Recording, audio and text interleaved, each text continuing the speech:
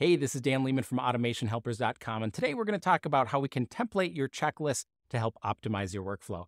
Now, I encourage you to follow along by signing up for SmartSuite using our affiliate link in the description below. Now, to get us started, I'm inside of SmartSuite and I'm looking at a table of tasks. These are all very similar tasks around creating YouTube content, and therefore it's something that we'd want to be able to template out to say, these are my series of individual items, or we can think of them as subtasks that we want to perform every single time I have one of these tasks. Just as a reminder, the checklist field is one of the many, I think 44 or more, different field types that we have within SmartSuite. We can search for checklist, and we'd be able to add a new checklist field to our app.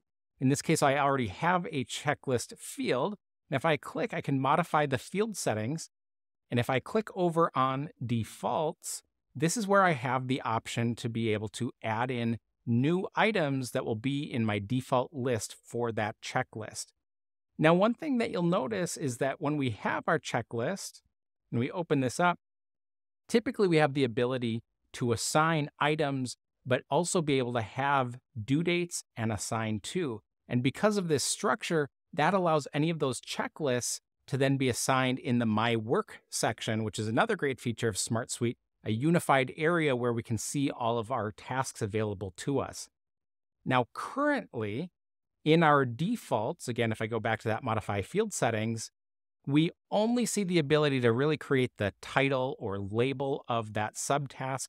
We don't have the ability to automatically assign the individuals assigned to, as well as the date for that now, that feature is actually a request to be able to have the checklist field allow default assignees and also due dates. And this is something that is marked as in planning. Thankfully, we'll be looking at that feature rolling out here in the future from the SmartSuite team. But let's go ahead and give this a try. I'm going to create a new record. And in this case, we'll say it's SmartSuite checklists is what we're creating a video on. If I tab off of here, notice that we now have those checklist items. If I open those up, I can in fact see those checklist items, and I could now manually enter in due dates and assign those to individuals who need to complete those subtasks. But we also have another option aside from using the defaults in the checklist field, and that's to use an automation. Now, I have another app here, and really I just duplicated these, but just to show a different example where I have tasks but in this case, I have different types of tasks. They're not all about creating videos. Instead, I have discovery calls, creating technical designs. So as you can imagine, the subtask that we would have associated with this wouldn't necessarily be the same. And so we want to be able to have some conditional logic involved. What I've done here is I've created an automation. Let me go over to my automations. And I've called this one checklist template. So I'll go ahead and open this. And what I've done is I've set up a trigger for when a record matches a condition. I've done this on my tasks app, and I'm specifically saying where the type is equal to, and I created a task type.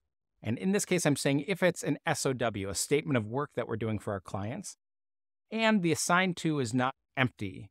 And the reason I have that is because sometimes the record gets created too quickly, and I want to make sure that both of these pieces of data are present in order to actually build that checklist. Then the action I create is to update the record. And this is simply updating the existing task record that triggered this in the first place. And then we've got the ability to say for the checklist field, and now we can add in all of our items. So I can put in that description, but here's where we get that more granular control. We've got the ability to put in a due date.